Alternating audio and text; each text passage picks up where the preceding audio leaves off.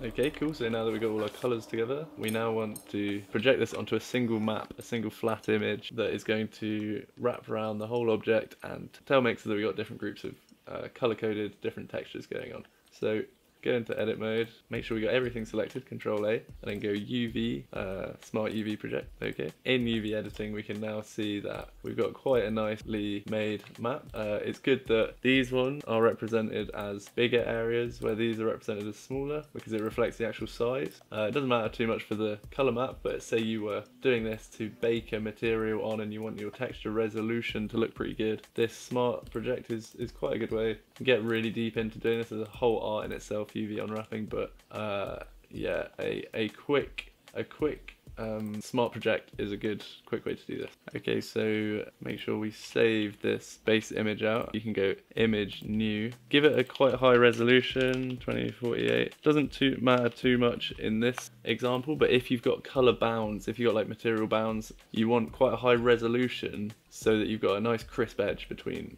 between uh, the differences in texture, if that makes sense. So that's why we're going fairly high res image. So image, new, call it color ID tower 3, make it 2048.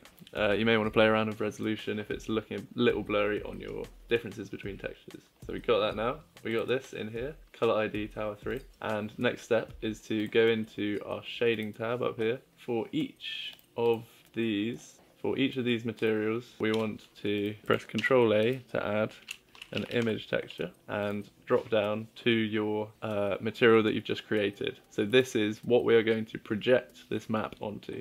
And so all you need to do is have this here, go down to your next material, paste it in. There's no need to hook it up to anything. If it's in there, it's going to bake into each of the material IDs we got here. Okay, so now to uh, bake all of this in, we go to our scene tab Make the rendering engine cycles, make sure it's cycles because that has a bake option. Down here under bake, we don't want any of these, we just want color. That's why we've set these materials to diffuse because it's going to be a nice, super flat, super clean color. Set this bake type to diffuse only and do that and hit bake. Uh, that bake can take a little while, but hopefully we've reduced the amount of time it's going to take by having a pretty low poly object for one, but also by having um, that really simple, no lighting used. This should reduce the amount of time the bake takes. Okay, nice. So now we've got a nice color ID map. You can you can check this out quickly. What do is just Control D this whole thing out. Hide this one yeah, we could delete all the materials off of this.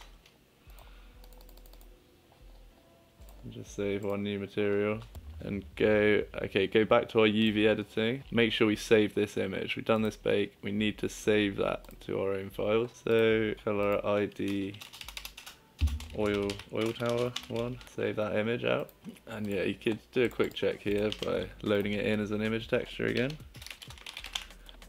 that in the base color. And sweet so that's come up with all your color IDs but it's just one flat texture instead of a whole list of textures here. So you can tell it's all baked on nicely. Uh, you can see I've forgotten this. So um, I have to redo that bake. Let's delete that one. Go back to here. There's the culprit. So just assign that to yellow.